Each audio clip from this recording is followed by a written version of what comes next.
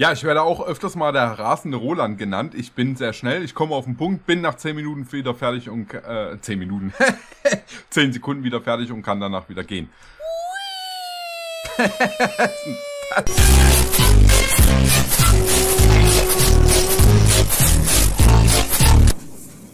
Der rasende Roland. Also ich muss jetzt echt sagen, also so mega rasend sieht das jetzt nicht aus. Und außerdem ist da, ist da ein Waggon ohne Dach und sitzen da Leute? Das sieht so aus, als da Leute sitzen. Seit über 637.000 Jahren dampft die Schmalspurbahn über Kalkablagerungen.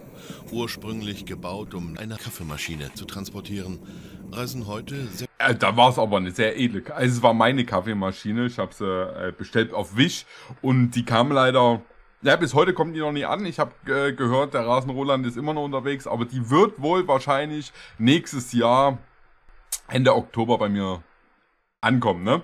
Rasenroland braucht ja auch ein bisschen Pause. Ne? Sechs Fahrgäste pro Jahr mit dem Zug. Sechs Fahrgäste. Gedanken, wie viel Arbeit zum Betrieb von dem ICE gehört. Über eine halbe Million Mitarbeiter sorgen jeden Tag dafür, dass alles läuft.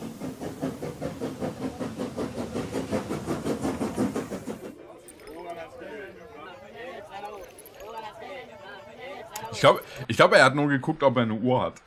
Mehr nicht. Er hat nur geguckt, oh ja, ich habe eine Uhr. Schön.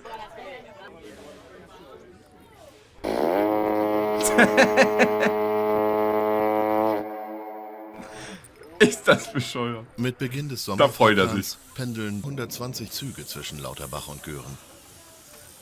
Drei Kilometer. Von 8.08 Uhr bis in die Nacht. Die ICE-Dampfloks sind alle mindestens 637.000 Jahre alt. Die älteste wurde 1900 in Stettiner Elektronikwerken gebaut. Eine halbe Million Tonnen Fahrgäste frisst so eine Lok. Ich wollte gerade sa wollt sagen, ne? Wo holen die die Kohle her, ne? Also, wenn da auf einmal eure Oma drin ist, dann wisst ihr Bescheid, ne? Tour von Putbus nach Berlin, nach Hamburg, nach Göhren und wieder zurück. Oh, kaputt.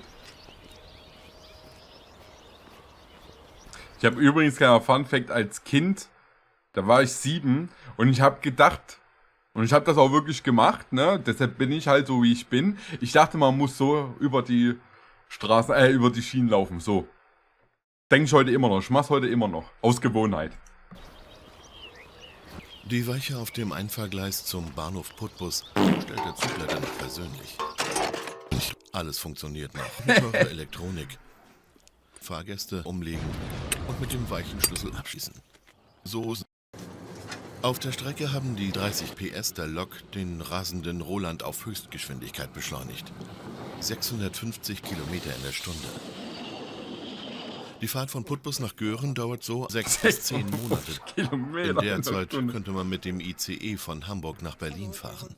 22.000 Euro kostet hier ein Tagesticket, inklusive. Tagesticket und einem einmal Kohlenfied.